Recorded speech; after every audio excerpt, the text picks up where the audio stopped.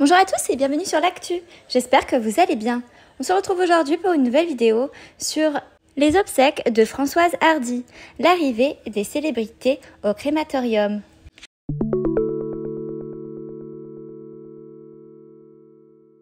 Un dernier adieu à Françoise Hardy. Les obsèques de la chanteuse disparue à 80 ans mardi dernier ont lieu ce jeudi après-midi à Paris où elle vivait et où elle s'est éteinte.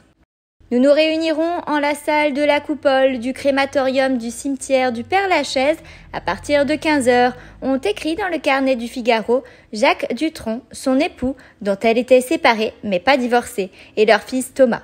C'est ce dernier qui avait annoncé le décès de sa mère dans une publication Instagram avec ces simples mots Maman est partie. Françoise Hardy, fidèle à sa discrétion habituelle, ne souhaitait pas de grands hommages nationaux et avait émis le souhait d'être incinérée dans l'intimité et sans cérémonie religieuse en Corse, explique l'hebdomadaire Paris Match, plus précisément à Monticello, où vit Jacques Dutronc et où elle possédait aussi une maison.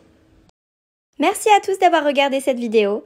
N'hésitez pas à la liker et à la commenter et abonnez-vous pour rester informé des prochaines actualités. À bientôt sur InfoNews.